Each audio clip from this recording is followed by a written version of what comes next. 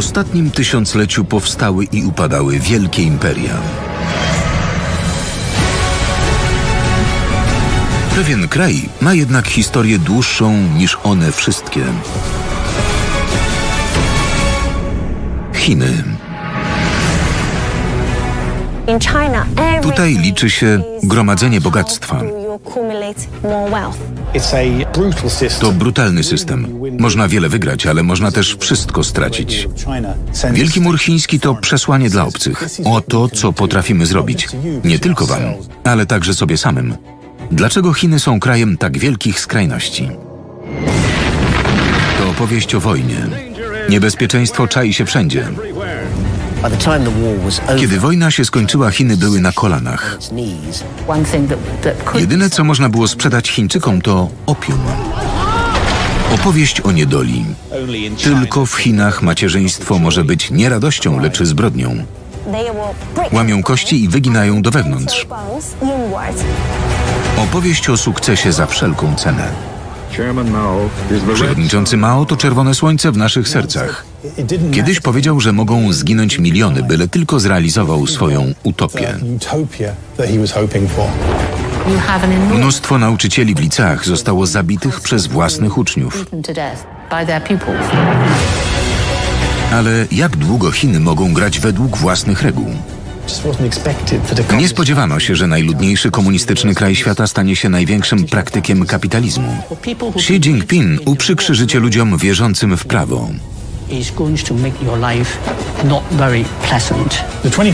XXI wiek należy do Chin, podobnie jak wiele wcześniejszych stuleci. Żeby zrozumieć potęgę Chin, trzeba poznać ich przeszłość, największą historię wzlotu i upadku w dziejach ludzkości. Tysiąc lat historii. Chiny.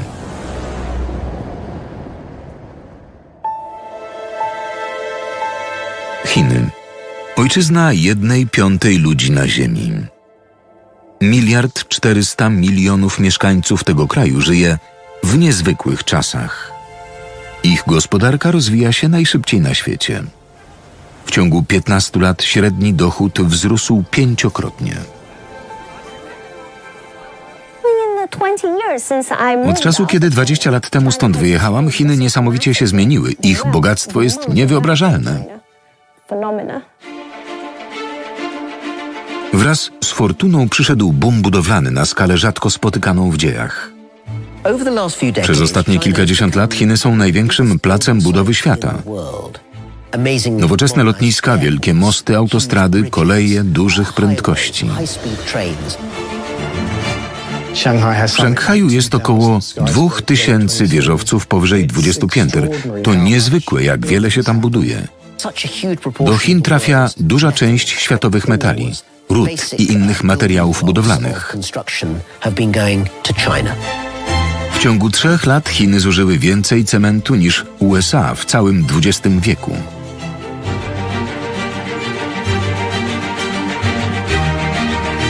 Ale żeby zrozumieć, co napędza to budowlane szaleństwo oraz wielkie ambicje Chin, trzeba spojrzeć w ich przeszłość.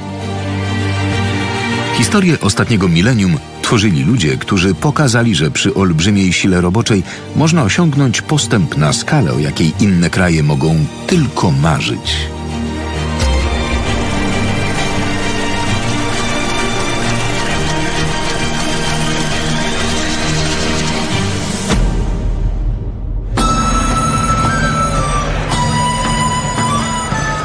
Już tysiąc lat temu Chiny były kwitnącym krajem ze wspaniałą stolicą. Ich mieszkańcy stworzyli wysoce rozwiniętą kulturę. Chiny wyprzedzały większość innych krajów. Ich stolica była największym miastem świata, z 700 tysiącami mieszkańców. Znacznie wyprzedzała wszystkie inne metropolie.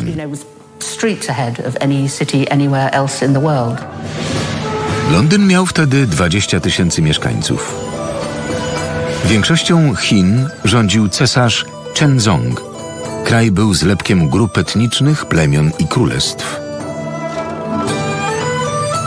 Największym zagrożeniem były najazdy z północy, ale cesarz odziedziczył niezwykłą barierę ochronną.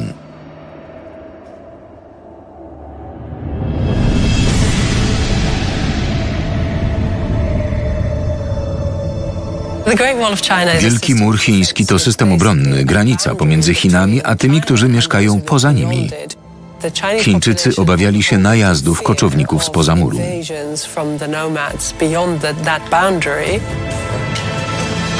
Wielki Mur Chiński to najdłuższa budowla na Ziemi, jeden z cudów świata. Łącznie ze wszystkimi swoimi odnogami ma prawie 9000 kilometrów długości. To prawie jedna czwarta obwodu Ziemi. Co roku odwiedza go 10 milionów turystów. Ten cud budownictwa to efekt wieków bezustannej pracy. Pewne jego części wzniesione z ubitej ziemi mają ponad 2000 lat. W czasach cesarza Chenzonga tysiąc lat temu większość muru była z kamienia. Budowla chroniła kraj przed najazdami z północy. To była informacja dla mieszkańców Chin. Tu kończy się władza i ochrona cesarza. Myślę, że Wielki Mur Chiński uświadamiał też obcym Oto co potrafimy zrobić. Nie tylko Wam, ale także sobie samym. Tyle zaangażowania, poświęcenia, wydatków i ciężkiej pracy włożymy w obronę.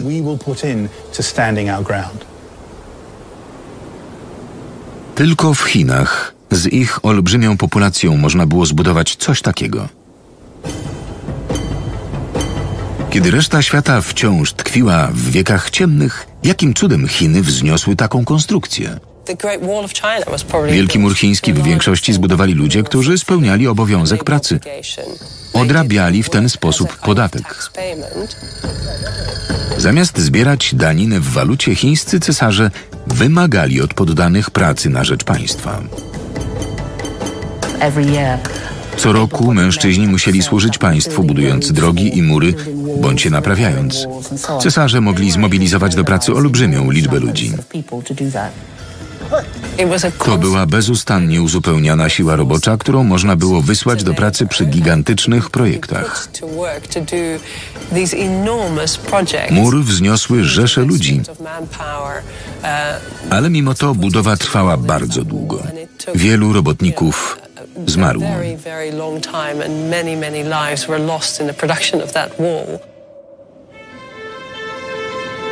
Pokolenia temu Wielki Mur pokazał, do czego zdolny jest ten kraj i jego mieszkańcy.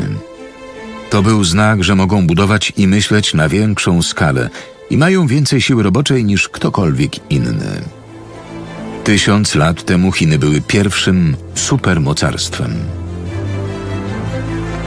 Potem nastała dynastia, która odmieni kraj i stworzy markę, która wciąż dominuje w świecie. Made in China.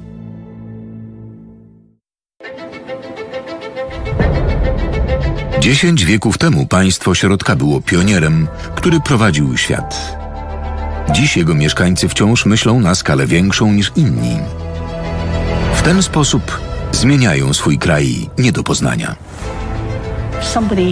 Gdyby ktoś powrócił do Chin z 40-letniej podróży kosmicznej, nie poznałby tego państwa. To dwa zupełnie inne światy.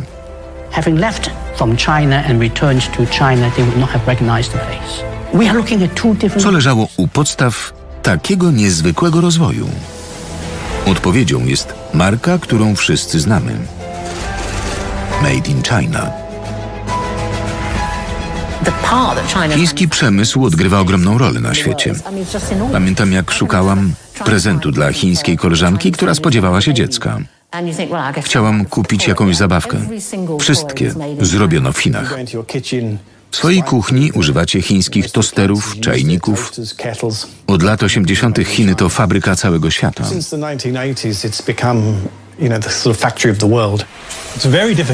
Dziś bardzo trudno znaleźć coś, czego nie wykonano w Chinach, łącznie z kamerą, do której mówię i telewizorem, w którym mnie oglądacie. Nawet czapka z hasłem Uczyńmy Amerykę znowu wielką pewnie powstała w Chinach. Ale za historią wielkiego państwowego rozwoju kryje się głęboko zakorzenione osobiste pragnienie każdego obywatela. Chińczycy chcą osobistego rozwoju. Mamy we krwi nieustanne pragnienie samodoskonalenia.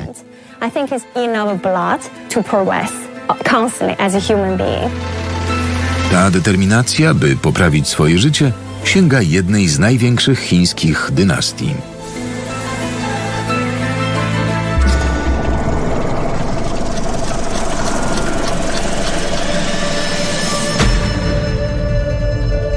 Osiemnastu cesarzy panującej ponad 300 lat dynastii Song zmieniło Chiny nie do poznania.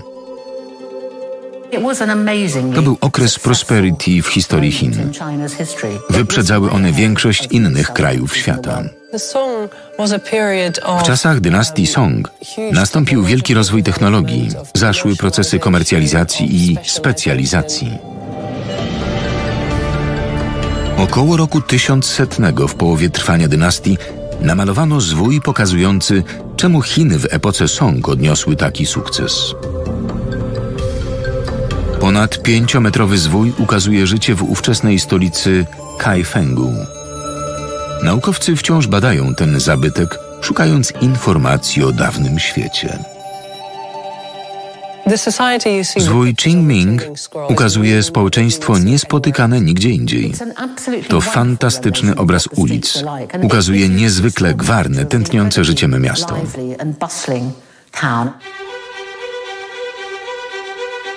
Zwój daje wgląd w życie ludzi, dla których handel był sensem życia. Wzdłuż ulic ciągną się sklepy. Widzimy gwarne targowiska i warsztaty rzemieślników. Ludzie gromadzą się, kupują, pokazują swoje wyroby.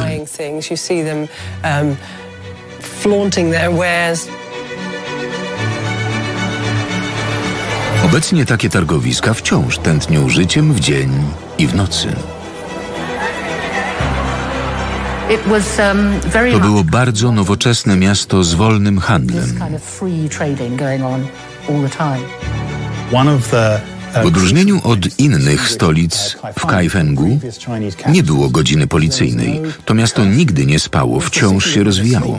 Ten fakt bardzo wydłuża czas, który poświęcano na handel czy produkcję.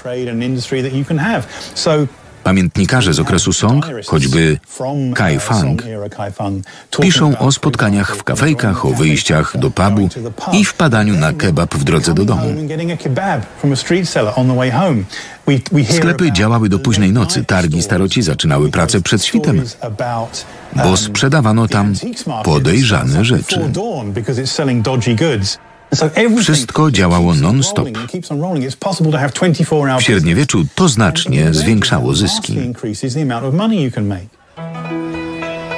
Kiedy Europa wciąż tkwiła w zdominowanym przez arystokrację średniowieczu, Chiny każdemu dawały możliwość awansu społecznego.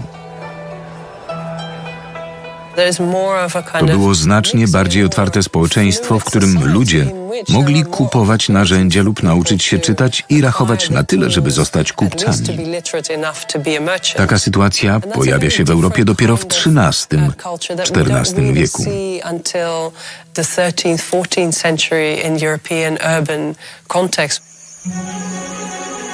Kiedy w Anglii edukacja była przywilejem najbogatszych, w Chinach dynastii Song wszystkich zachęcano, żeby mierzyli wysoko ale dotarcie na szczyt wymagało ciężkiej pracy. Chiny jako pierwsze wprowadziły egzaminy dla kandydatów do służby cywilnej. Największe szanse zapewniała edukacja. W ówczesnej Europie nie szkolono ludzi na urzędników. Zostawało się nimi z racji urodzenia. Um, you know, you were there really by right of birth or not. W Chinach istniała społeczna mobilność, której nie było w innych krajach. Każdy mógł przystąpić do egzaminu i zostać naukowcem. Każdy mógł zostać najbliższym doradcą cesarza, bez względu na to, skąd pochodził. Chiny dynastii Song dawały swoim mieszkańcom olbrzymie możliwości. An empire that offered enormous possibilities for its population. Tysiąc lat później wielu ludzi wciąż wiąże swoje nadzieje na lepsze życie z edukacją. Co roku w Chinach odbywa się egzamin zwany Gaokao. To w zasadzie egzamin na państwowe uczelnie. Budzi strach, ale i szacunek. Pod pewnym względem to następstwo ponad tysiącletniej tradycji trudnych egzaminów na urzędnika państwowego. W chińskich szkołach rywalizacja jest zaciekła. Wszystko przelicza się na stopnie. Masz 90 punktów albo 80, tyle jesteś wart. Ten wynik to przyszłość. Wysoka punktacja daje szansę wyboru. Słaby wynik sprawia, że ludzie wypadają poza nawias. To brutalny system. Można wiele wygrać, ale można też wszystko stracić. Na temat Gaokao krąży wiele opowieści. Na przykład o uczniach, którym są podłączane kroplówki, żeby nie musieli przerywać nauki nawet na jedzenie i picie. Tylko bez przerwy się uczyli. To skrajny przykład, ale pokazuje, jak poważnie Chińczycy traktują egzamin Gaokao.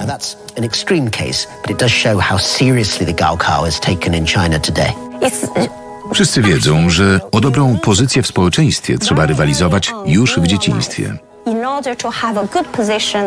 Na zachodzie można iść do szpitala i korzystać ze swoich praw, nawet gdy nie ma się pieniędzy. W Chinach nie. Można liczyć jedynie na siebie i na najbliższą rodzinę.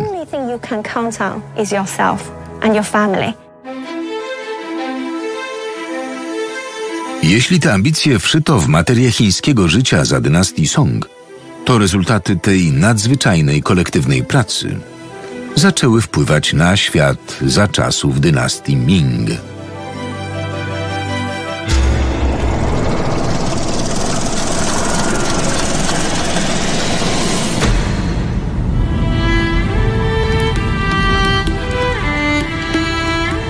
Dynastię Ming założył jedyny cesarz w długiej historii Chin, który urodził się jako chłop. Z czasem stał się cesarzem Hongwu, a jego dynastia rządziła prawie 300 lat. Jej spuścizna była ogromna. Pewne miejsce doskonale ukazuje jej wielkość.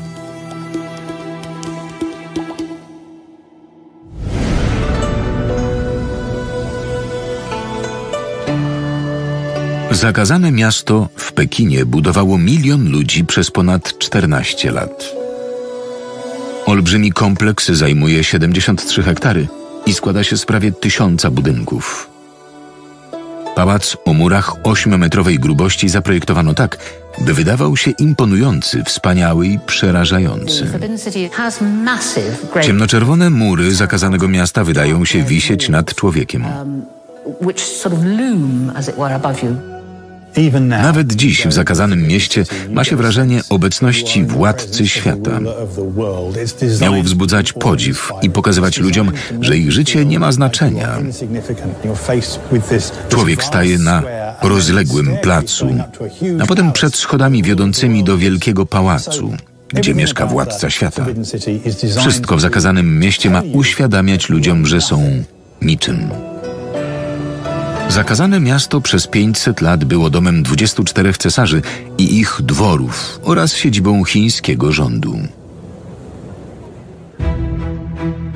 Ale największe dziedzictwo dynastii Ming to coś, co zdefiniowało same Chiny.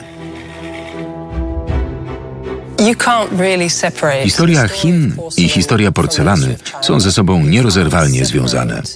Nie można oddzielić porcelany od Chin. Jak porcelana umieściła Chiny na mapie?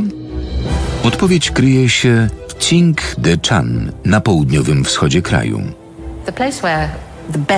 Miasto, gdzie powstaje najlepsza porcelana w Chinach, jest dość niewielkie. Otaczają je zalesione wzgórza. Jest pełne nadzwyczajnych wytwórni porcelany. Qing de Chen nie wytwarza się niczego innego poza porcelaną. Dlaczego właśnie tutejsza porcelana stała się najważniejszą spuścizną dynastii Ming, ery wielu innych nadzwyczajnych osiągnięć? Nikt nie umiał robić czegoś tak twardego, cienkiego i wytrzymałego zarazem, a przy tym utrzymanego w takiej tonacji kolorystycznej, nieskazitelnej bieli i niebieskich wzorów. Ta kolorystyka stała się cechą charakterystyczną porcelany z czasów dynastii Ming. Prawdziwym sekretem sukcesu Tsing de Chen jest proces produkcji porcelany.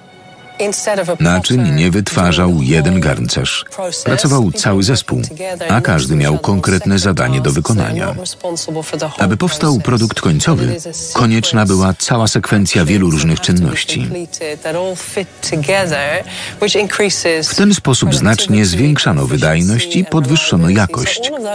To współczesne terminy, ale w Tsing de Chen już w XV wieku wytwarzano w ten sposób tysiące naczyń. Ta metoda to prekursor produkcji fabrycznej. Setki lat przed tym, jak Chiny stały się fabryką świata, de Chen miało pierwsze na świecie linie produkujące porcelanę na skalę przemysłową.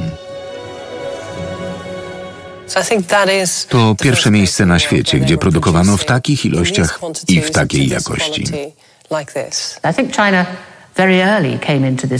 Chińczycy wcześnie zrozumieli, że jeden człowiek nie musi tworzyć czegoś od początku do końca, że produkcja taśmowa jest wydajniejsza. Każdy ma swoją specjalizację, każdy robi swoje. Trudno uwierzyć, jak wielkie ilości porcelany wytwarzano w Qingdechen. Taka skala produkcji oznaczała, że porcelanę z Qingdechen można było kupować i sprzedawać na całym świecie. Stała się ona jednym z najcenniejszych produktów na Ziemi.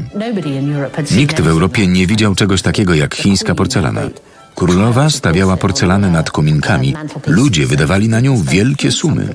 Niektórzy nawet bankrutowali, tworząc swoje kolekcje. Chodziło o potęgę, zamożność, status i modę. Porcelana była po prostu modna. Porcelana dynastii Ming była tak poszukiwana, że być może jako pierwszy produkt osiągnęła kolejne stadium. Stała się marką. Pod spodem zapisywano imię cesarza, za którego rządów powstało naczynie. Widać tam chińskie znaki. Oznaczają Shuande. Za jego czasów w Qingdechen powstawała najlepsza porcelana. Nawet sto lat później takie same znaki umieszczano na naczyniach, które nie powstały w czasach Shuande. Podrabiano znaną markę. Niektórzy twierdzą, że cała porcelana niebiesko-biała to marka. Wszyscy ją znają. Wyróżnia się, jest biało-niebieska. Wszyscy od razu ją rozpoznają.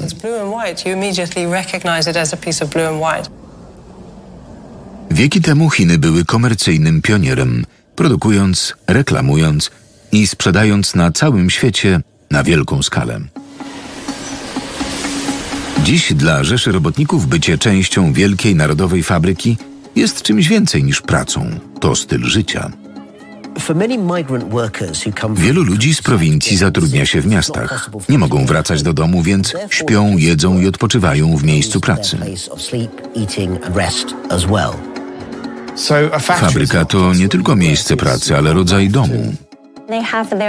Mają 8 lub 12-osobowe sypialnie, pracują w innej części fabryki, jedzą w stołówce, wszystko robią w grupie i nie są traktowani najlepiej, bo łatwo ich zastąpić. I really witnessed people were not treating them very well because they are very easily replaced. A jednak setki milionów migrują, marząc o lepszym życiu. Ta etyka pracy jest głęboko zakorzeniona w historii Chin. Ale nawet ciężka praca nie ocaliła kraju przed najmroczniejszym okresem jego dziejów. Los miał odwrócić się od potężnych Chin, co zagroziło ich istnieniu. Wszystko zaczęło się od przybycia Brytyjczyków.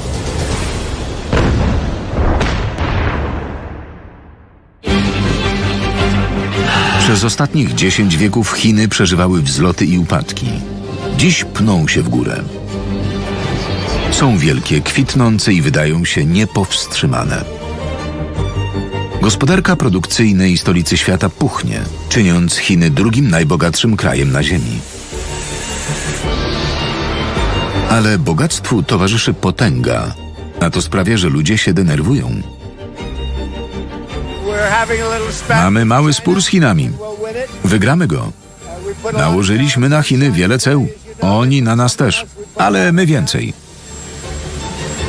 Dzisiejsza wojna handlowa to nie jedyny spór Chin z Zachodem.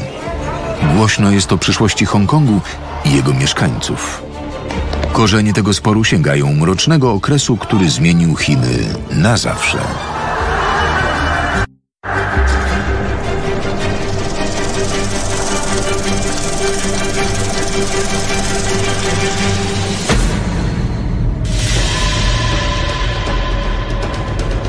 Chiny dynastii Ming eksportowały wszystko od porcelany po słynny jedwab. Podobnie było za czasów kolejnej dynastii Qing. Ale w XVIII wieku Chiny miały coś jeszcze, czego bardzo pragnęli Brytyjczycy. Herbatę.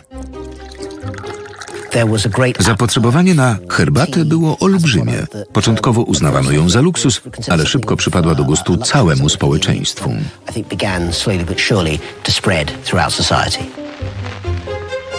Herbata stała się modna i była Brytyjczykom po prostu niezbędna. 10% wszystkich państwowych wydatków szło na herbatę. To olbrzymie sumy. Ale nie mieliśmy na co ją wymieniać. Musieliśmy płacić srebrem, bo Chińczycy nie chcieli indyjskiej bawełny, nie chcieli wełny z Bradford. Nie mieliśmy niczego, czego by pragnęli. Ale pompowanie brytyjskiego srebra w Chiny nie było dobre z punktu widzenia interesów państwa. Poszukiwano jakiegoś towaru, który mógłby zastąpić srebro na chińskim rynku.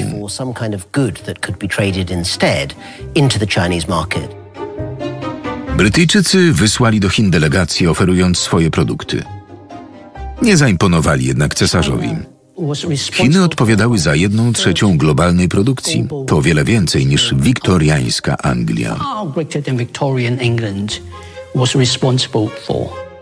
Chiny były wystarczająco wielkie, żeby produkować prawie wszystko, czego potrzebowały.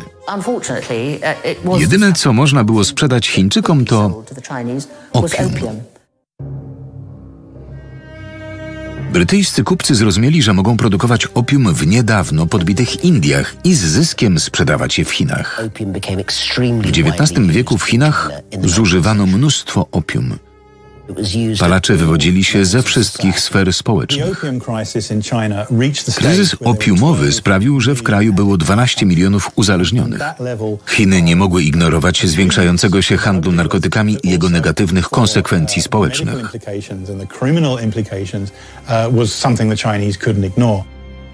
Postanowiły działać. Lin Shu to urzędnik dynastii Qing, działający w XIX wieku.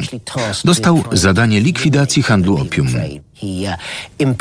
Zajął narkotyki, które Brytyjczycy mieli w porcie Guangzhou, wtedy zwanym Kantonem i wyrzucił je do morza, modląc się i przepraszając boginię morza za to, że zanieczyszcza wodę. Potem zwrócił się do brytyjskich kupców, mówiąc, żeby nie byli głupi i zepsuci i żeby więcej nie przywozili opium. Chiny uznały, że sprawa została załatwiona. Okazało się, że było inaczej. It turned out that that was not in fact the case. Był to przełomowy moment w historii kraju. W odpowiedzi Brytyjczycy wysłali kanonierki. Pod względem militarnym Chiny były strasznie zapóźnione. Chińczycy wynaleźli proch, ale używali go głównie do fajerwerków. Nie pracowali nad nowymi rodzajami uzbrojenia. Po stuleciach dominacji Chiny nie potrzebowały wielkiej marynarki wojennej. Kraje europejskie toczyły z kolei wiele wojen i miały kolonie na całym świecie. Były znacznie potężniejsze niż sądzili Chińczycy. Chińska armia i flota nie mogły się równać z brytyjskimi. Wybuchły dwie wojny, a do grabieży chińskich zasobów dołączyły inne europejskie potęgi. Ale na tym etapie uzależnienie od opium było w Chinach tak rozpowszechnione, że uległa mu nawet armia. Cesarz nie mógł być pewien swoich żołnierzy, byli całkowicie oszołomieni opium. To był poważny problem. W roku 1860 skończyła się druga wojna opiumowa. Europejskie potęgi zwyciężyły i zaczęły dzielić Chiny między siebie. Dawne supermocarstwo musiało oddać część terytorium i otworzyć przed Europejczykami swoje porty. Wśród oddanych terenów była mało wówczas znana wysepka na południu Chin Hongkong. Panowanie nad Hongkongiem dało Imperium Brytyjskiemu łatwiejszy dostęp do chińskich rynków. Wyspa była w rękach Anglików aż 150 lat. Brytyjczycy i inni Europejczycy sięgnęli po jeszcze jeden przywilej. Przyznali sobie prawo do mieszkania i handlu w kilku miastach na wybrzeżu kontynentalnych Chin. Przez dziesięciolecia zwano je portami traktatowymi. Było ich pięć, ale jeden się wyróżniał. Był w zasadzie jednym z wielkich miast brytyjskiego imperium. To Szanghaj.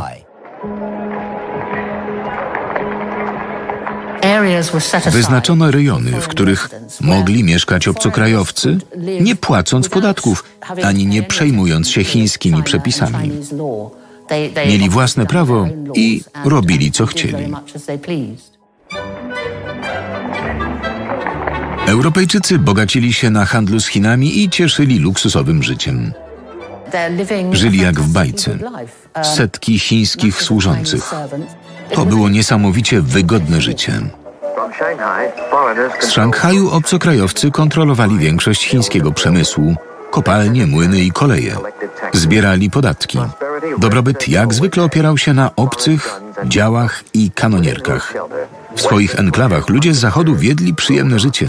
Na torach wyścigowych i w kurortach Chińczycy byli jedynie służącymi. Życie miejscowych nie było tak różowe. Chińczycy z Szanghaju musieli znosić niegrzeczne, a nawet brutalne zachowania Europejczyków, którzy wiedzieli, że chińskie prawo ich nie dosięgnie. Mieli własne przepisy i własne sądy. Ta nierówność stała się źródłem silnych resentymentów.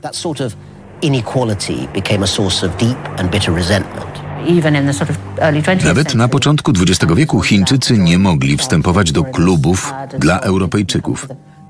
Nie mogli odwiedzać country clubów, nie mogli grać w tenisa, były dla nich zakazane. Większość Chińczyków mieszkających w tych enklawach było służącymi lub kupcami.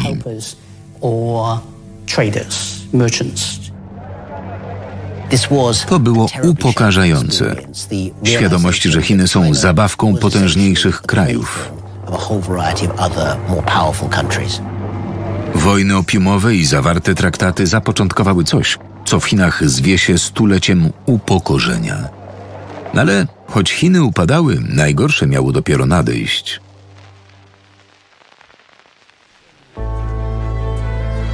Pewne wydarzenie łączy ponad miliard mieszkańców dzisiejszych Chin. 13 grudnia, w dzień pamięci o masakrze nankińskiej, wszyscy wspominają jeden z najczarniejszych okresów ich historii. Doszło do niego w czasach, kiedy mocarstwowy status Chin był już odległą przeszłością.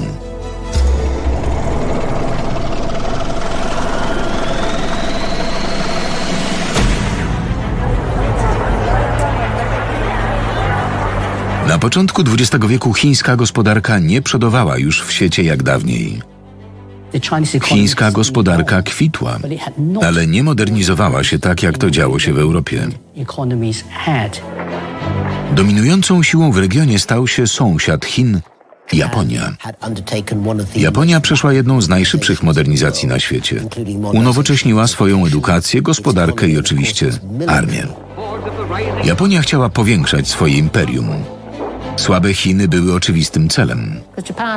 Japonii brakowało surowców, a Chiny mają ich mnóstwo. Japończycy weszli więc do Chin, co wywołało wielkie oburzenie. Ale Chińczycy byli bezradni. Japonia miała znacznie silniejszą armię.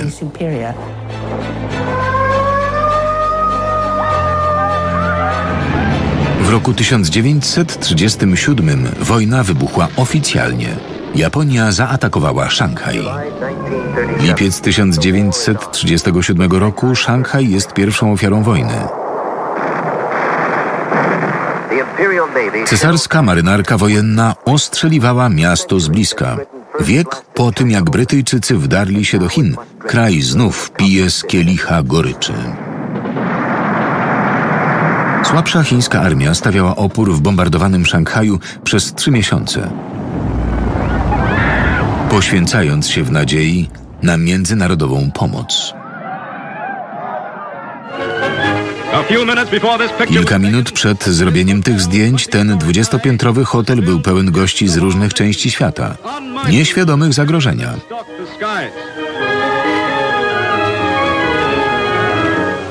Teraz to dymiący cień dawnej świetności. Masakra niewinnej ludności, ofiar potwornego losu. Niebezpieczeństwo jest wszędzie. Ale społeczność międzynarodowa nie zareagowała.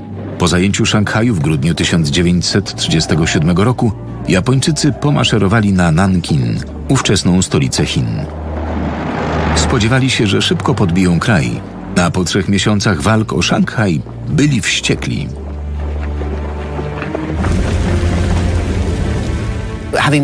Dowódcy obiecywali żołnierzom, że Chiny upadną jak domek z kart. Okazało się jednak, że Chińczycy zacięcie się bronią.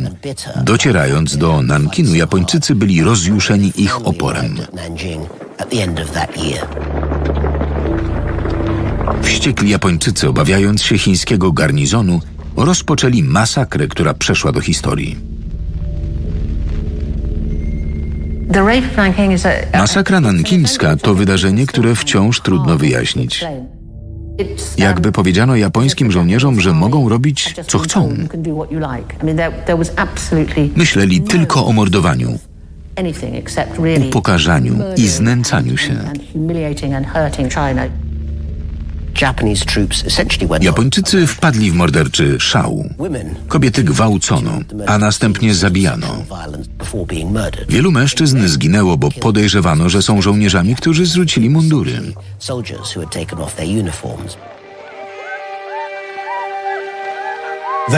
Japończycy uważali, że jeńcy wojenni nie mają praw i że można z nimi robić, co się chce.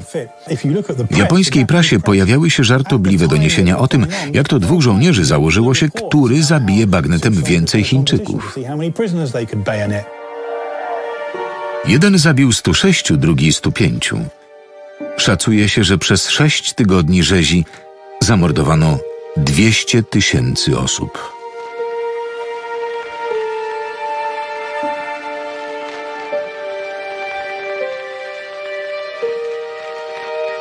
Militarnie Chiny były słabe.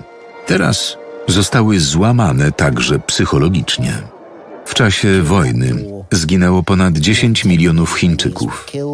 Ponad 80 milionów było uchodźcami we własnym kraju.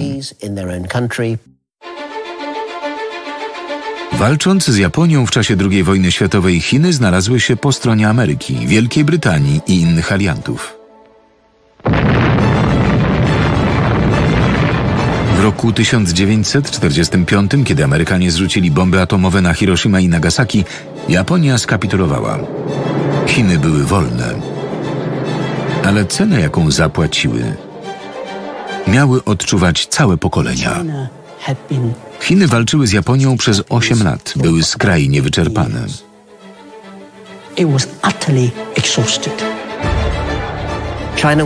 Kraj był zrujnowany. Efekty modernizacji w niemal każdej dziedzinie, od kolei po drogi i rolnictwo, wszystkie aspekty życia zostały zniszczone. Podobnie jak chińska gospodarka. Szalała hiperinflacja. Kiedy wojna się skończyła, Chiny były na kolanach. Nie przypominały już kraju z czasów dynastii Ming. Z jednego z najbogatszych państw świata stały się jednym z krajów rozwijających się. Ale miał pojawić się przywódca, który zabierze Chiny w najdramatyczniejszą podróż w ich historii.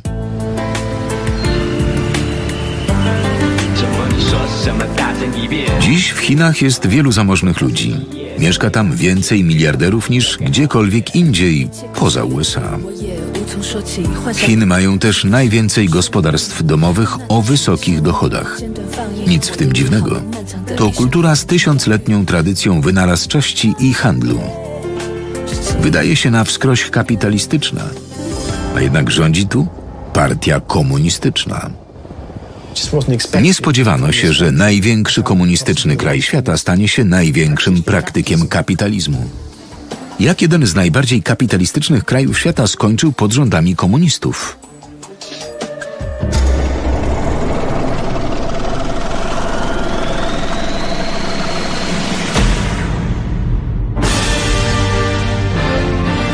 Ten 32-metrowy pomnik za około 300 milionów dolarów odsłonięto w roku 2009 w Changsha. Upamiętnia chłopskiego syna, który zmienił chińską partię komunistyczną w dominującą siłę w czasie, kiedy kraj odradzał się po stuleciu upokorzeń. To Mao Zedong. He had Miał wizję. Jak sam mawiał, chciał, żeby Chiny powstały. Stulecie upokorzeń, kiedy Chiny podbijano i okupowano za jego rządów, miało się skończyć. Postawił też na równość społeczną. Ludzie mieli dostać ziemię, żywność, miał nastąpić koniec wyzysku. Nic dziwnego, że przesłanie Mao podbiło serca tak wielu Chińczyków. W roku 1949 Mao ogłosił powstanie nowego państwa Chińskiej Republiki Ludowej. Zrobił to przed wejściem do zakazanego miasta, siedziby wielu cesarzy. Jak oni, Mao miał przejąć pełną kontrolę i żądać całkowitego oddania. Nasz wielki nauczyciel, wielki przywódca i sternik, przewodniczący Mao, jest czerwonym słońcem w naszych sercach. Myśl Mao Tse-tonga prowadzi nas w naszej pracy. Myśl Mao była święta w całych Chinach. Swoją filozofię przewodniczący zawarł w czerwonej książeczce, wciąż czytanej z zachwytem przez komunistów i socjalistów na całym świecie. Musimy uczyć się ekonomii od lepszych, bez względu na to, kim są. Musimy szanować ich jako nauczycieli, świadomie przyswajając ich wiedzę. Był częścią życia zwykłych ludzi. Jego zdjęcia były wszędzie. To chyba jedyny okres w dziejach Chin, kiedy obowiązuje taka duchowa jedność. Wszyscy wyznają tę samą religię. Pochlebstwa, których oczekiwał Mao, prowadziły do niezwykłych przejawów oddania. Mao zachęca ludność i żołnierzy, żeby trenowali pływanie. W wodzie Chińczycy wykrzykują hasła w rodzaju naprzód przez wysokie fale za przewodniczącym Mao. Niezbyt imponujący balet wodny, ale pływający trzymają tempo. Ten wodny przykład fanatycznego oddania i posłuszeństwa byłby imponujący, gdyby nie był żałosny. Mao był kimś w rodzaju Boga. Używając sloganu z epoki, był lśniącym czerwonym słońcem w sercach ludzi. Otaczający go kult jednostki czynił z niego istotę nadprzyrodzoną. Czczony przez poddanych Mao, był gotów na wszystko, żeby odmienić Chiny. Mao znał historię, podziwiał wszystkich budowniczych cesarskiej przeszłości. Postrzegał siebie jako łagodnego despotę, który musi łamać karki, żeby czegoś dokonać. Nawet się tym chwalił. Kiedyś powiedział, że mogą zginąć miliony, byle tylko zrealizował swoją utopię. I właśnie tak się stało.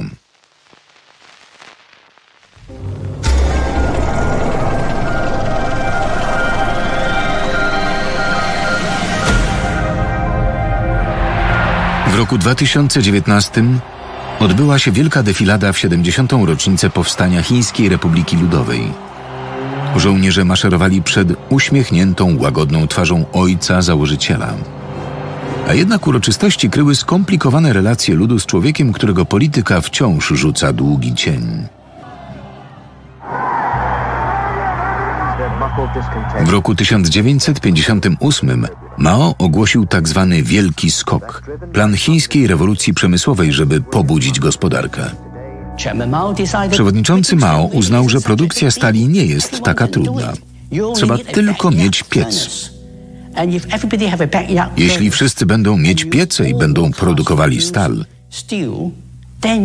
Chiny dogonią Anglię, prześcigną ją i dorównają USA.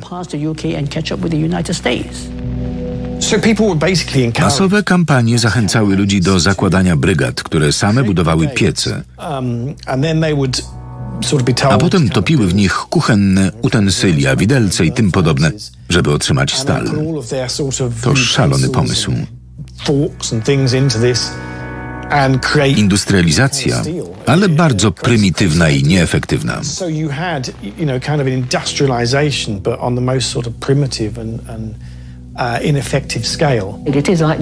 To jak topić na własnym podwórku metalowe garnki, żeby zrobić z nich traktor. Stal, którą w ten sposób otrzymywano, była oczywiście do niczego. Nie miało to jednak znaczenia. Chodziło o wyrobienie norm, nie prawdziwą produkcję stali. Ta błędna droga od początku skazywała wielki skok na porażkę.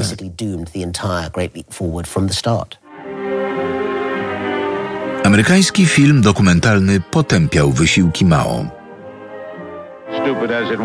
Myśleli, że zastąpią nowoczesne piece chudnicze siłą roboczą. Oto rezultaty. Podwórkowe piece wytwarzające żelazo, które kruszy się i łamie. Bezużyteczne. Ale gorszy od kiepskiej stali był wpływ kampanii na rolnictwo. Mao powiedział, kopcie głębiej, a zbiory będą lepsze. Kopali więc głęboko i wkładali sadzonki na dno. Oczywiście nie rosły z braku światła. Rośliny sadzono w niewłaściwych miejscach. Były też wielkie problemy informacyjne. Lokalni urzędnicy często nie zgłaszali trudności. Strach przed rozczarowaniem Mao był tak wielki, że lokalni liderzy partyjni kłamali o plonach w swoim regionie. Ludzie rozpaczliwie chcieli pokazać, że są bardziej czerwoni od sąsiada. Jeśli mówiłeś, że twój obwód produkuje więcej ziarna niż inne, mogłeś dostać awans lub pochwałę. Dane były znacznie przesadzone i dawały błędny obraz sytuacji. Rzeczywistość była znacznie gorsza. Władze uznały, że skoro mają tyle zboża, mogą zarabiać na jego eksporcie do Związku Radzieckiego. W ustroju komunistycznym urzędnicy mogli w każdej chwili przeszukać czyjś dom. Za ukrywanie żywności groziło zakatowanie na oczach całej wioski. Rolnicy musieli oddawać całą żywność. Rezultaty były opłakane. Żywność przejmowano na sprzedaż. Ludzie na wsi zostawali z niczym. Nie mieli co jeść. Efektem był masowy głód. Nie przenosili się, bo nie mogli. Byli przywiązani do ziemi, nie mogli się przeprowadzać. A jeśli próbowali, ginęli z rąk żołnierzy.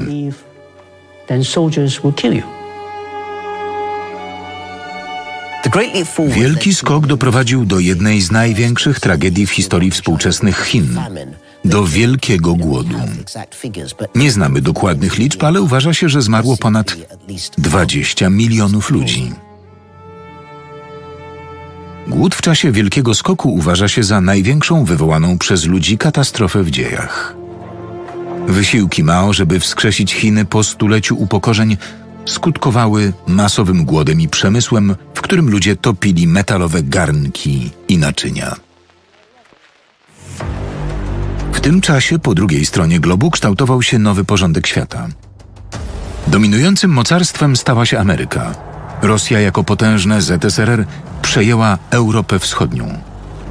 Chiny, kiedyś światowy lider, budziły zażenowanie. Wkrótce jednak Mao zainicjuje nową rewolucję, rozpoczynając być może największe szaleństwo, jakie widział świat.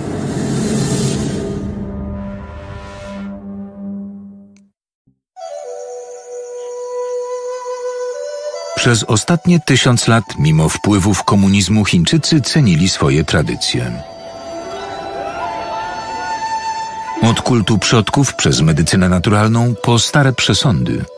To kraj zakorzeniony w historii. Ale w latach 50. XX wieku jego przywódca, przewodniczący Mao, postanowił wyrugować zwyczaje sprzeczne z jego wizją komunizmu. Zależało mu zwłaszcza na likwidacji tradycji, która nie pozwalała wielu chińskim kobietom stać się wydajnymi pracownicami. Moja prababcia ze strony mamy miała skrępowane stopy. Chodziła jak pingwin. Nawet kiedy szliśmy do sklepu, nie mogła iść za daleko. Zawsze podpierała się laską. Nie wiedziałam, że miała skrępowane stopy.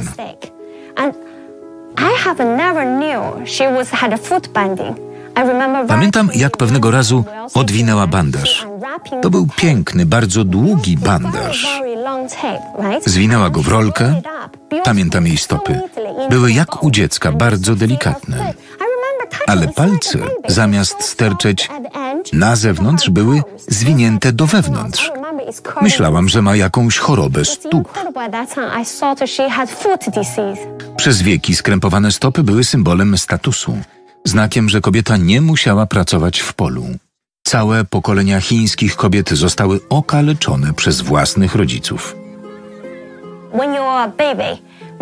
Trzy, czteroletniemu dziecku łamano kości, a potem zginano stopę do środka, żeby wyglądała tak. Zamiast tak.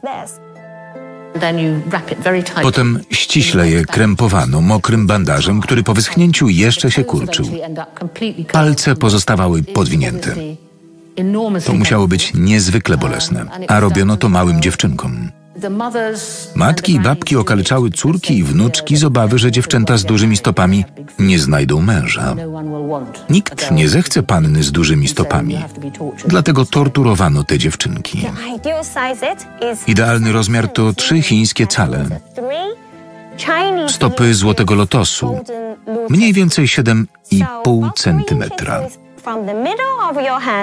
Od środka dłoni do czubków palców, takie małe. Nawet u dziecka powyżej szóstego roku życia byłoby to dziwne. To idealny rozmiar. Jeśli udało się go osiągnąć, cudownie. Rodzina była dumna. Dziewczyna znajdowała bogatego męża i wszyscy byli szczęśliwi poza nią. Kiedy wyrasta się w takiej kulturze, nikt tego nie kwestionuje. Człowiek po prostu się podporządkowuje. A powinniśmy się zastanowić, czy naprawdę chcemy krzywdzić nasze dzieci. Po zakazaniu tej tradycji Mao wysłał w teren armię inspektorów. Każda kobieta ze skrępowanymi stopami musiała wieszać bandaże w swoich oknach dla upokorzenia. Przewodniczący Mao tak naprawdę uwolnił chińskie kobiety. Mogły chodzić do szkoły, kształcić się i pracować jak mężczyźni. Uwolnił połowę chińskiej populacji, żeby pracowała dla rewolucji. To bezprecedensowe wydarzenie, całkowicie uwalniające chińskie kobiety.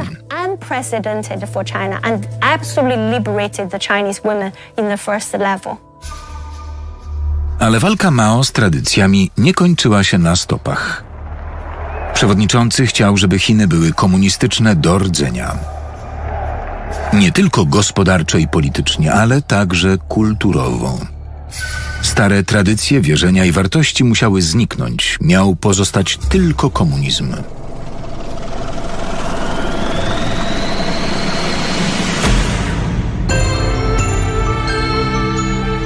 Dziś portrety Mao wiszą w całych Chinach.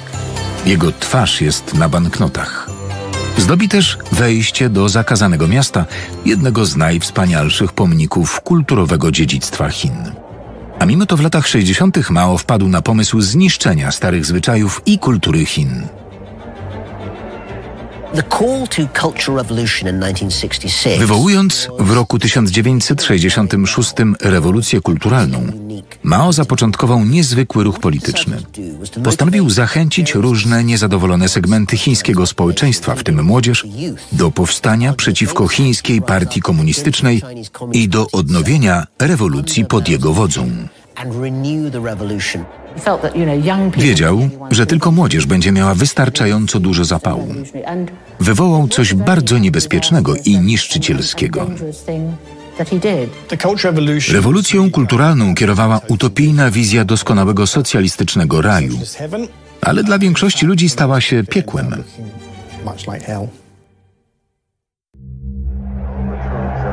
Wiele szkół i uczelni zamknięto jako symbole dawnego porządku. Niszczono świątynie i prywatny majątek. Miliony młodych ludzi wstępowały do tak zwanej Czerwonej Gwardii. Mówiono im, że młodzież jest najcenniejszą, najbardziej dynamiczną częścią społeczeństwa, że w ich rękach leży los komunistycznej rewolucji w Chinach. Dla wielu z tych młodych ludzi oznaczało to, że ich nauczyciele lub wykładowcy, czy każdy u władzy, musieli być skorumpowani.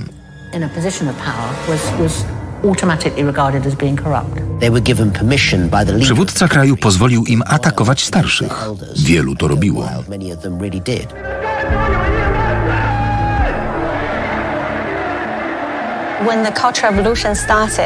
Kiedy wybuchła rewolucja kulturalna, moja mama miała 14 lat. Zawsze żałowała, że nie wiedzieli wtedy, jak bardzo są manipulowani przez nauczycieli i urzędników partyjnych. Każdy nauczyciel chronił swoją pozycję i rodzinę, napuszczając młodych ludzi na innych nauczycieli. Mama nie chciała się w to mieszać, ale wszystko widziała. Widziała bitych nauczycieli i rabunki. Panował chaos. Uczniowie zmienili się w zbirów.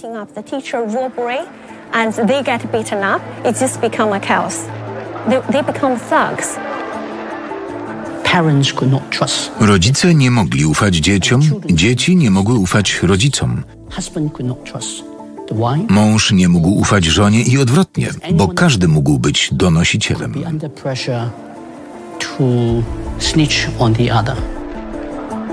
W rękach nastolatków rewolucja wymykała się spod kontroli. Wielu ludzi całymi godzinami pędzono publicznie w tak zwanej pozycji samolotu z rozłożonymi rękoma. To bardzo bolesne. Tych, którzy zgrzeszyli przeciwko ideologicznej czystości, bito i napadano. Każdy, kto choć odrobinę nie zgadzał się z przewodniczącym Mao, był klasowym wrogiem.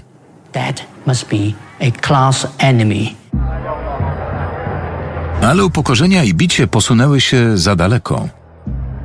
Któregoś ranka Bien Jong-yun, nauczycielka z Pekinu, jak zwykle przyszła do pracy. Jej uczniowie pobili ją na śmierć. Pomyślcie tylko. Najpierw zaczęli w nią rzucać, potem było coraz gorzej. Masowa histeria. Gdyby to ujawniono, połowa świata byłaby przerażona, a druga połowa powiedziałaby: Zróbmy to samo. Wielu nauczycieli szkół średnich zginęło z rąk swoich własnych uczniów.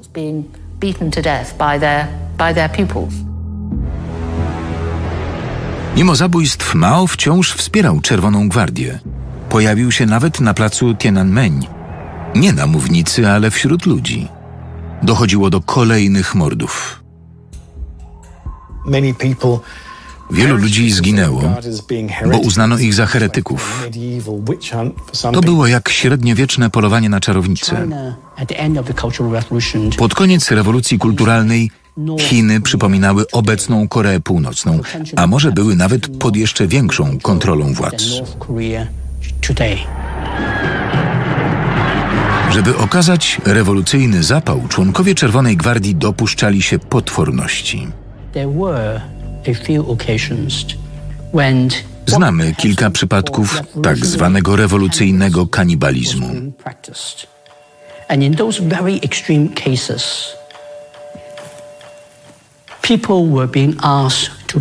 Ludzi namawiano, żeby jedli ciała zamordowanych kontrrewolucjonistów.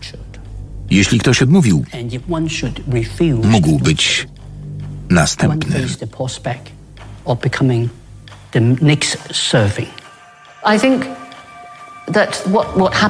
Moim zdaniem chodziło o to, że to najgorsze, co można zrobić innemu człowiekowi. To mój wróg, pokonałem go, a teraz go zjem.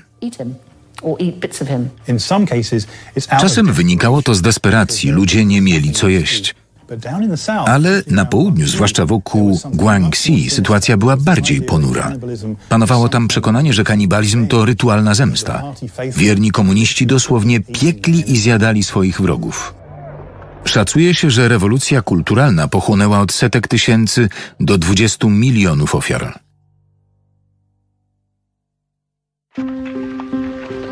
Ale mimo katastrofalnych błędów ery Mao, prawie 50 lat po jego śmierci, jego pamięć jest nietykalna.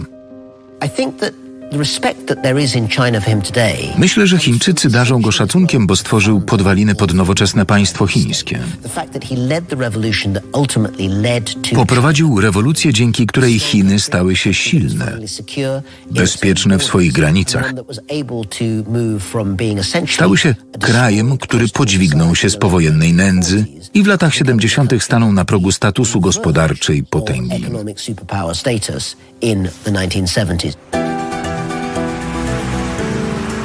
Mao postawił Chiny na drodze do statusu gospodarczego supermocarstwa, robiąc coś niespodziewanego. To zdarzenie całkowicie odmieniło kraj i jest zwane w Chinach tygodniem, który zmienił świat.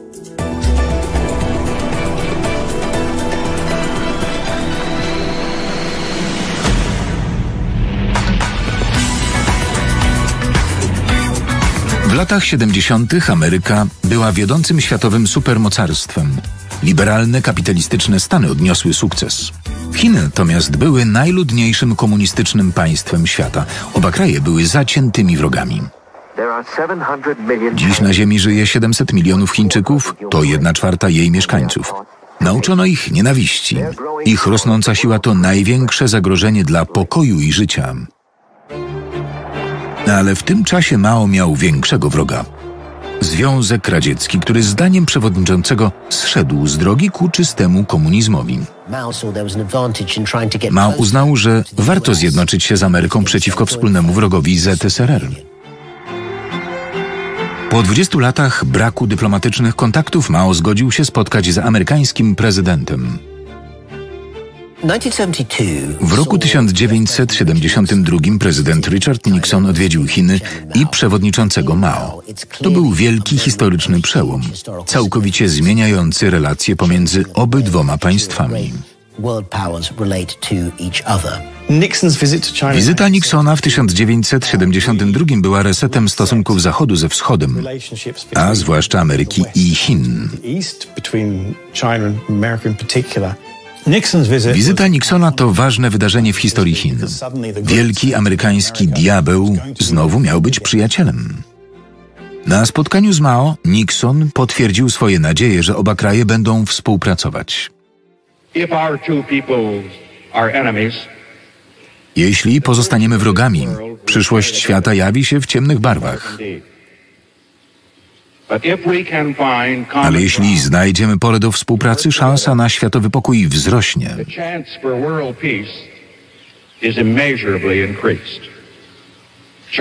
Przewodniczący Mao napisał: Chwytaj dzień, chwytaj godzinę. To ta godzina, ten dzień. Wizyta Nixona wypuściła gina z butelki. Miała wielkie konsekwencje dla całego świata, bo Chiny jako gracz w przemyśle, źródło dóbr eksportowych, ale także rynek dla dóbr importowanych, całkowicie zmieniły światową gospodarkę. Współczesne chińskie supermocarstwo zaczęło się od wizyty Nixona. Wszystko, co znamy dziś, jest wynikiem tamtego wydarzenia. W następnych dziesięcioleciach chińska gospodarka rozwijała się w tempie około 10% rocznie. Setki milionów ludzi wyszło z ubóstwa. Skutki tego spotkania, zmiany w Chinach, są nie do zmierzenia. W roku 1972 pewnie nikt nie podejrzewał, że za pół wieku Chiny będą drugą gospodarką świata. W roku 1978 1978, przeciętny Chińczyk żył mniej więcej tak jak dziś mieszkaniec Korei Północnej, a może nawet gorzej. Dziś Chiny mają najliczniejszą klasę średnią na świecie.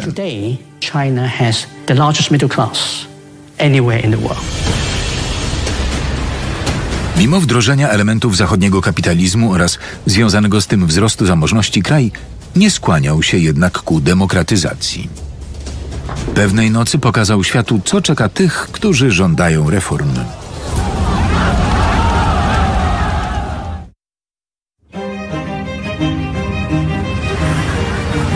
Tysiące lat temu Chiny miały największą populację na Ziemi. Dziś jest tak samo. Zamieszkuje je miliard 400 milionów ludzi. Prawie jeden na pięciu ludzi na świecie to Chińczyk. Dla przewodniczącego Mao rosnąca populacja Chin była środkiem do uczynienia ich wielkimi. Chairman Mao in the 50s, I W latach said 50. Mao powiedział: Miejcie tyle dzieci, ile chcecie. Im więcej Chińczyków, tym lepiej. Ale okazało się, że szybko rosnącej liczbie ludności zaczyna brakować żywności. Kiedy Mao zmarł w roku 76, nowi przywódcy zaczęli dostrzegać, że wielka populacja to problem. W połowie lat 70. zatrudnionych w fabrykach, bibliotekach, muzeach i innych zakładach pracy obejmowała polityka planowania rodziny. Kierownictwo oświadczało: W tym roku może się urodzić dwoje dzieci tobie i tobie. Reszta musiała czekać. Ale liczba mieszkańców nie spadała. Rząd sięgnął więc po drastyczne środki.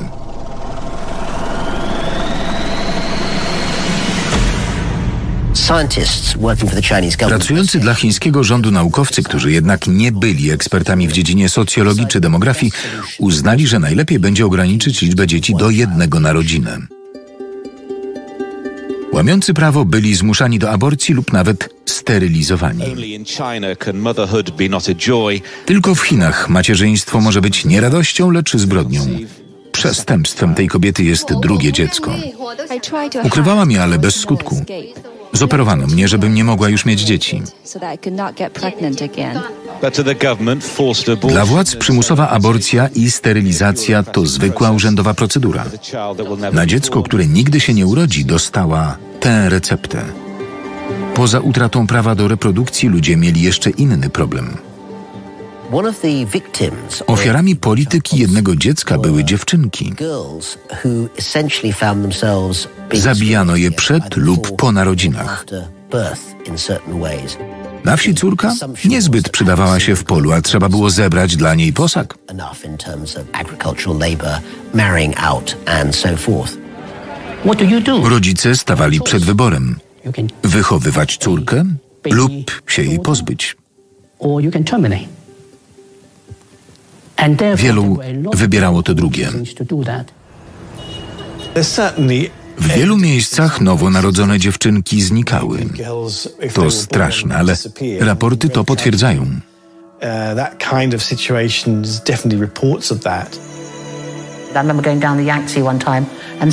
Kiedyś płynęłam Yangtze i w wodzie ujrzałam zwłoki dziewczynki.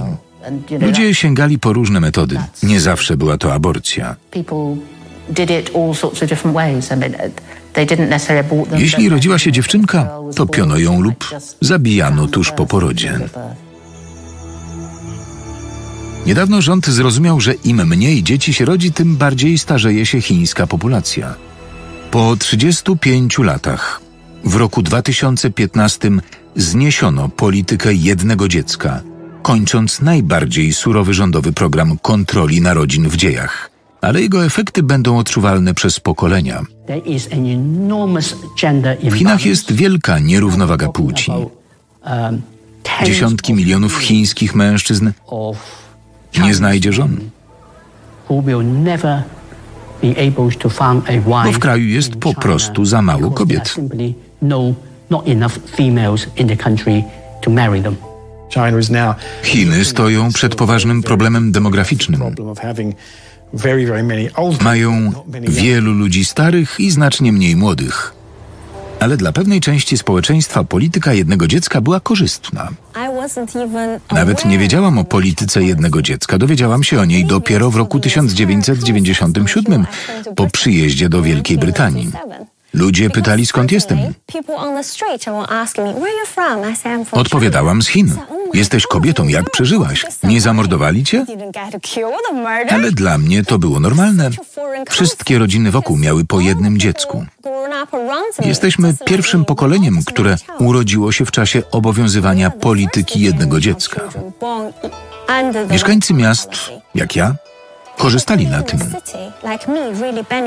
Rodzice zajmowali się tylko mną, stać ich było na wysłanie mnie na studia za granicę. Gdybym miała brata lub siostrę, byłoby inaczej. Polityka jednego dziecka wzmocniła status kobiet w społeczeństwie. Wcześniej w rodzeństwie najważniejszy był pierworodny syn. Kobiety miały tylko wychodzić za mąż. Trzeba było się ich pozbyć. Ale jeśli ma się jedno dziecko, jest ono najważniejsze i rodzina zrobi dla niego wszystko. Dla mieszkańców miast życie w Chinach stało się łatwiejsze. Byli bogatsi, większość wychowywała tylko jedno dziecko, przyszłość wyglądała dobrze. Ale kiedy Chiny się bogaciły, pojawiły się obawy o kierunek, w którym zmierzają. Gospodarczo Chiny się liberalizowały, ale o pewnym segmencie społeczeństwa zapomniano. Ci ludzie stracili tak zwaną żelazną miskę ryżu, państwową gwarancję pracy i niskich cen na pewne produkty. Nagle stracili opiekę, którą zapewniał im komunizm. Rosnąca korupcja rządu i partii komunistycznej rodziła gniew. Otwierając się i bogacąc, Chiny stały się społeczeństwem bardzo nierównym. W roku 1989 pojawił się ruch, który stanie się jednym z największych zagrożeń dla stabilności rządów partii komunistycznej.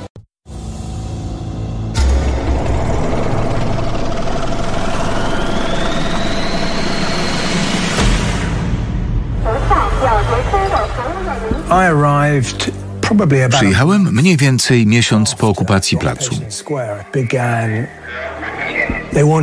Potrzebny był fotograf robiący zdjęcia do gazet. Tym się zajmowałem.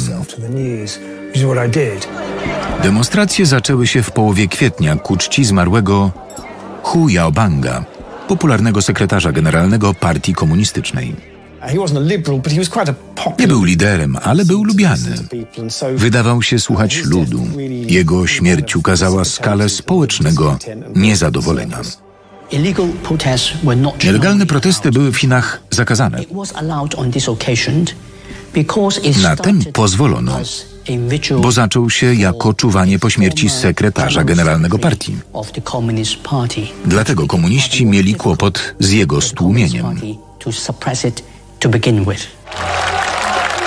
Przez chwilę na placu panowała iście karnawałowa atmosfera.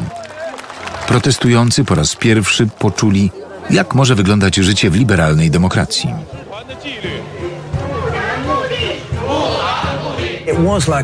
To było jak festiwal rockowy. Atmosfera, muzyka jak na festiwalu na wyspie White. Ludzie gromadzili się przed pomnikiem bohaterów ludu, rozstawiali namioty. Ale stopniowo czuwanie zmieniało się w protest. Ludzie przychodzili na placy z różnych powodów. Narzekano na brak prawa do wypowiedzi. Ludzie nie mogli wyrażać samych siebie. Równie wielkim problemem była korupcja. Dziś do tłumu dołączyli nauczyciele, prawnicy i związkowcy. Podobnie dziennikarze z państwowej telewizji i partyjnych gazet. Wyrażają sprzeciw wobec cenzurowania doniesień o studenckim proteście. You have uh, A kind of To był tygiel rozzłoszczonych ludzi. Studenci żądali reform i demokracji. Beneficjenci żelaznej miski ryżu nie chcieli zmian, lecz powrotu dawnych przywilejów. Rolnicy chcieli wyższej zapłaty za plony. Na placu spotkały się grupy o różnych interesach, zjednoczone w złości na partię komunistyczną. Demonstracje trwały i narastały. Uczestniczyli w nich nie tylko studenci, ale przedstawiciele wielu innych grup społecznych. Każdego dnia skala protestów rosła w tempie alarmującym dla władz. W połowie maja 1989 roku radziecki prezydent Michaił Gorbaczow przyjechał do Chin na szczyt, ściągając międzynarodowe zainteresowanie. Taniec demokracji zablokował inne wydarzenia. Pan Gorbaczow nie dotarł na swoją konferencję prasową. Na oczach bezradnych żołnierzy dziennikarzom powiedziano, że konferencję przeniesiono w inne miejsce. Gdyby radziecki przywódca dotarł, oto co zobaczyłby z dachu wielkiej hali ludowej. Siedzibę komunistycznej władzy otoczoną morzem protestujących. Nagle protestami w Pekinie zainteresował się cały świat. Dla chińskich władz było to zawstydzające. 30 maja protestujący przekroczyli granicę.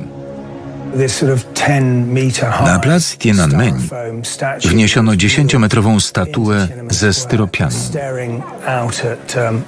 Patrzyła prosto na portret Mao. Patrzyła mu prosto w oczy. To był bardzo prowokacyjny gest wymierzony w stronę chińskiego rządu. Posąg łudząco przypominał statuę wolności, symbol amerykańskiej niepodległości. To naprawdę rozzłościło władzę. Uznały to za działalność wywrotową. To był przełom. Cztery godziny po tym, jak posąg się pojawił, o 10.30 maja Chiny wprowadziły stan wyjątkowy. Demonstracje stały się nielegalne. Zagraniczni dziennikarze nie mogli nadawać na żywo. Połączenia zerwano. Do Pekinu zaczęto ściągać wojsko. 180 tysięcy żołnierzy z całych Chin przybyło 2 czerwca. Starcie wydawało się nieuniknione i nikt nie wiedział, czym to się skończy.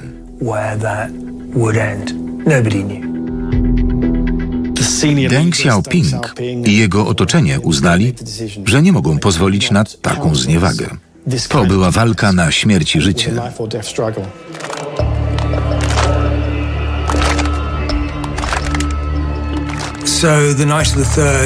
Um, Nocą 3 czerwca demonstranci pozostawali na placu Tiananmen. Nie chcieli iść do domu.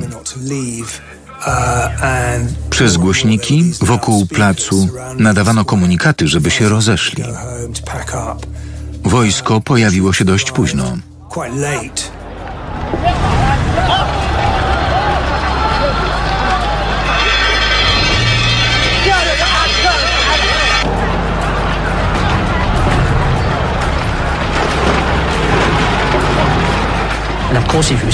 Jeśli wysyłamy uzbrojonych żołnierzy, którym wmówiono, że w Pekinie działają kontrrewolucyjni buntownicy, to wojskowi zrobią to, czego się od nich oczekuje. Zaczną strzelać.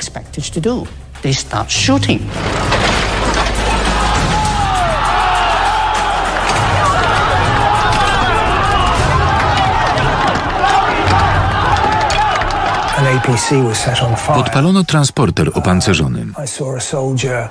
Widziałem wynoszonego rannego żołnierza.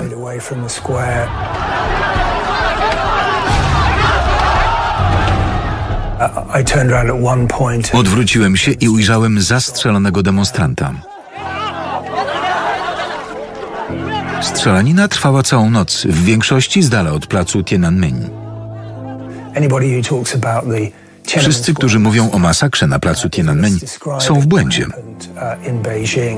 Do większości zabójstw doszło na zachodnich przedmieściach, kiedy przejeżdżali tamtędy żołnierze.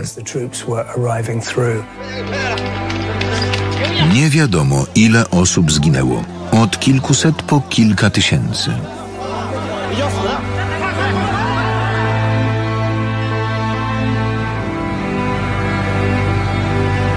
Mimo koszmaru nocy, najbardziej znany obraz tych wydarzeń pojawił się dzień później. Widzieliśmy rząd demonstrantów odmawiający rozejścia się i dwa rzędy strzelających do nich żołnierzy.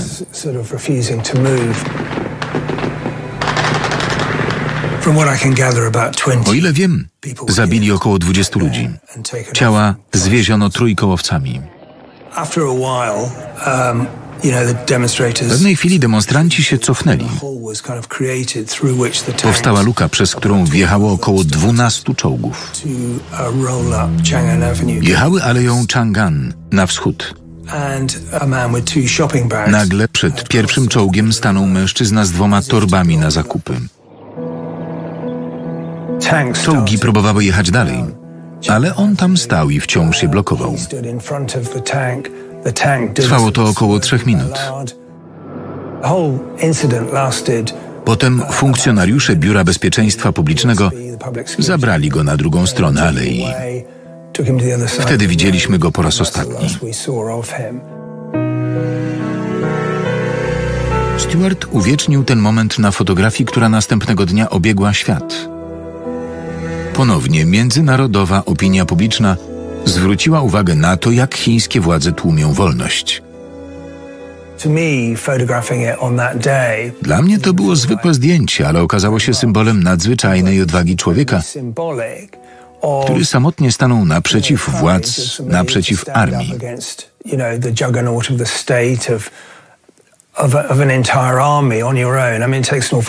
Trzeba mieć wielką odwagę, żeby zrobić coś takiego przy wszystkich grożących za to karach, zwłaszcza w Chinach. To wydarzenie stało się potężnym symbolem. Zdjęcie człowieka przed czołgiem zna cały świat. Poza Chinami, gdzie jest zakazane.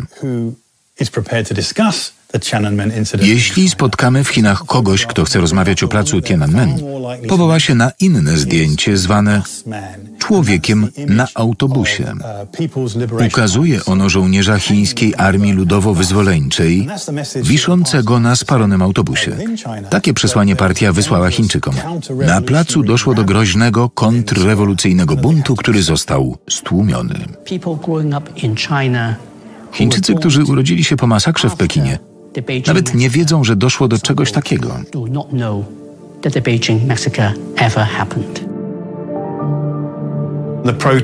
Niektórzy nazywają protesty zapomnianą historią. Chińscy studenci dowiadują się o niej, jeśli wyjadą za granicę.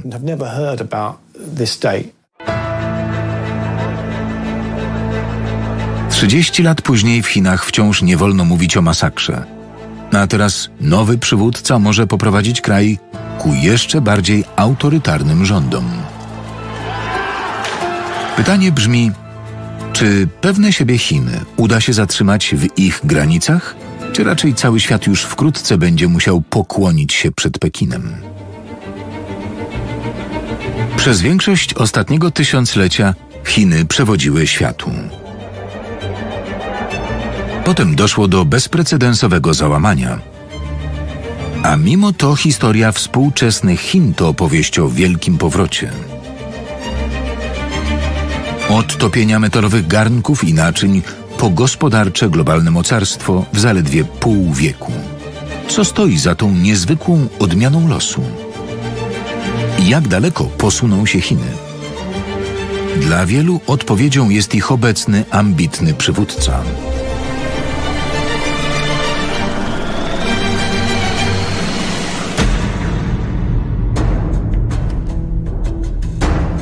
Xi Jinping urodził się krótko po zakończeniu stulecia upokorzeń i wydaje się zdeterminowany, żeby nigdy się nie powtórzyło. Xi Jinping chce stworzyć potężne, silne i zamożne Chiny. Uosabia narodowe odrodzenie Chin, które już nigdy nie będą ofiarą, już nigdy nie dadzą się stłamsić. Żeby zapewnić Chinom dominację, najpierw zabezpieczył jak największą władzę dla siebie. Xi Jinping to najpotężniejszy przywódca Chin od czasów Mao Tse-tunga. według konstytucji powinien ustąpić w roku 2023. Teraz to zmieniono. Może rządzić dłużej. To bardzo przypomina wieloletnie rządy Putina w Rosji. Xi ma ponad 60 lat. Teoretycznie może rządzić jeszcze długo. Chińskie reformy gospodarcze zaczęły przynosić owoce, zanim jeszcze Xi Jinping objął władzę. Chiński duch przedsiębiorczości wykuty wieki temu za dynastii Song i stłamszony w stuleciu upokorzenia oraz zarządów Mao był znowu wolny. Dziś nowe chińskie marzenie to zdobycie majątku. Liczy się dolar, kto ma większy samochód, ładniejszy dom i większy telewizor. Posiadanie jest wyznacznikiem statusu. Tak określa się swoją społeczną tożsamość. Znikają dawne wartości, takie jak uprzejmość czy wielkoduszność. Przemija to, z czego w historii byliśmy dumni. Władza polityczna wiąże się z rozwojem gospodarczym. W Chinach liczy się tylko gromadzenie bogactw.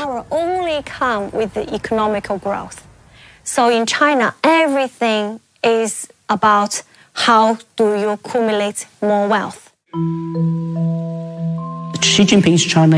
Imperium Xi Jinpinga to Chiny cyfrowe, gdzie władza może inwigilować obywateli na nieznaną wcześniej skalę. Za przewodniczącego Mao Chiny były państwem totalitarnym.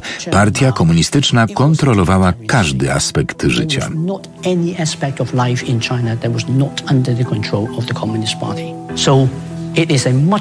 Dziś istnieje nowsza, skuteczniejsza wersja autorytarnego systemu Mao.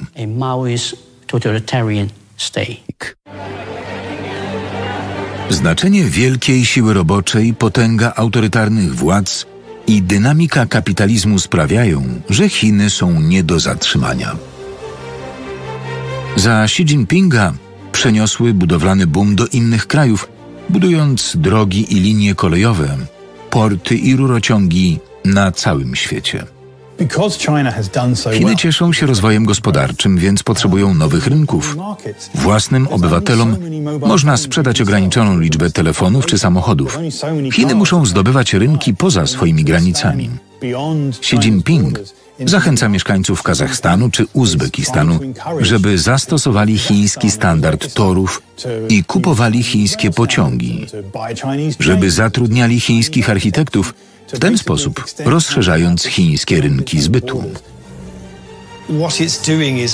Xi Jinping mówi: Tak, jesteśmy ważni, mamy wielką gospodarkę. Dla niego to rodzaj geopolitycznej wizji społeczeństwa, które teraz może żyć poza swoimi granicami i sięgać na cały świat. Chiny nie mogą się ograniczać. Wraz z bogactwem Chin rośnie ich pewność siebie. Kraj już pręży swoje militarne mięśnie na własnym podwórku. Morze Południowochińskie to obszar sporny pomiędzy Chinami a ich sąsiadami. Rejon obfitujący w ryby i minerały. Poza tym panowanie nad Morzem Południowochińskim zapewnia dostęp do wybrzeża Azji Wschodniej. Chiny twierdzą, że prawie całe Morze Południowochińskie to ich wody.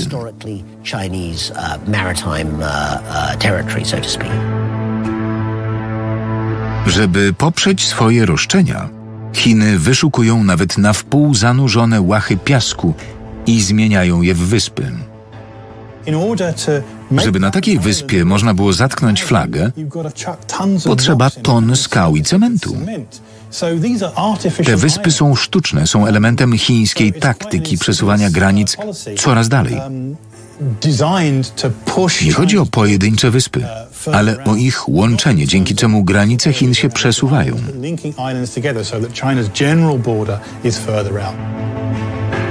Na tych sztucznych wyspach Chiny budują lotniska, żeby zwiększyć swoją militarną obecność w regionie. Napięcie w kontaktach z sąsiadami i USA rośnie, ale najnowsza chińska ekspansja terytorialna ma największy wpływ na Wielką Brytanię.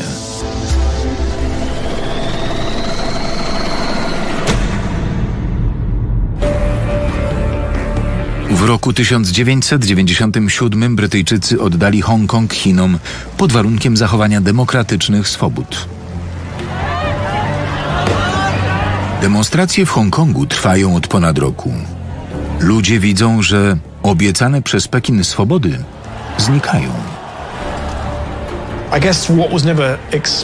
W roku 1997, kiedy doszło do przekazania, nikt nie podejrzewał, że Chiny osiągną taki rozwój gospodarczy.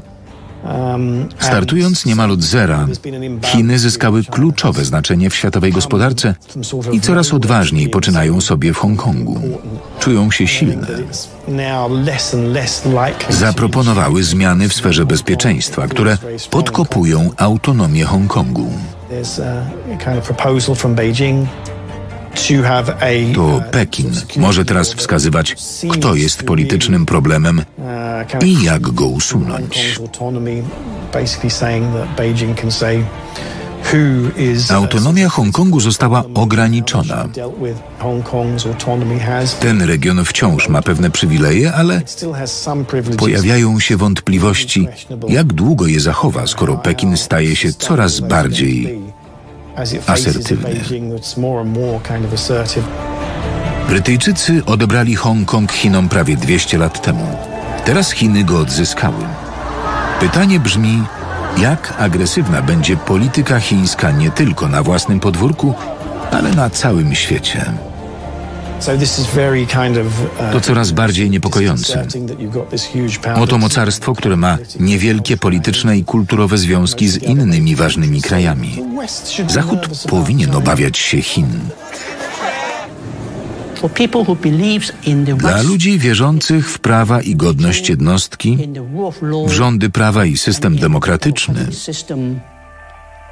rozwój Chin pod rządami partii komunistycznej i Xi Jinpinga jest coraz większym zagrożeniem. Problem w tym, że Zachód niewiele może zrobić. Wiek XXI należy do Chin. I nie powinno to dziwić, bo w wielu poprzednich stuleciach państwo środka również dominowało. Przez większość historii ludzkości, gdyby na naszej planecie wylądowało UFO, i obcy poprosili o spotkanie z przywódcą Ziemi, naturalnym wyborem byłby cesarz Chin. Przez kilka wieków występowały anomalie, ale teraz Chiny wracają na należne im miejsce. Awans Chin na światowego lidera w ciągu kilku dekad to opowieść o największym sukcesie XXI wieku. Ale biorąc pod uwagę długą historię tego kraju, ta przemiana nie powinna być zaskoczeniem. To naród, który pokazał, że potrafi pokonać nawet największe przeszkody. Naród, który determinację, żeby odnieść sukces, ma wpisaną w swoje DNA. Kiedy świat staje się coraz bardziej niestabilny, Chiny chcą dominować ponownie. Wersja polska Smack Jam Studio. Tekst Marcin Skrobosz. Czytał Paweł Bukrewicz.